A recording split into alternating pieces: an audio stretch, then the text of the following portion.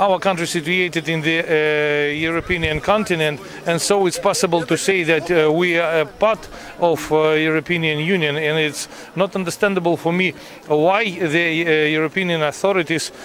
push us away from the law and something something else because we are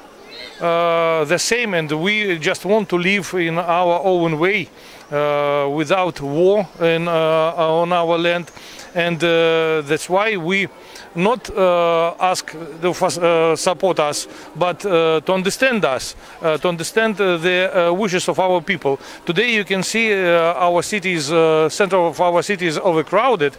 because we celebrate uh, fifth anniversary, anniversary of our republic. And you can see uh, many uh, young and smiling faces uh, on our streets. Because this is our republic and we decided to build it uh, not against European Union just uh, to defend our people from uh, Ukrainian Nazi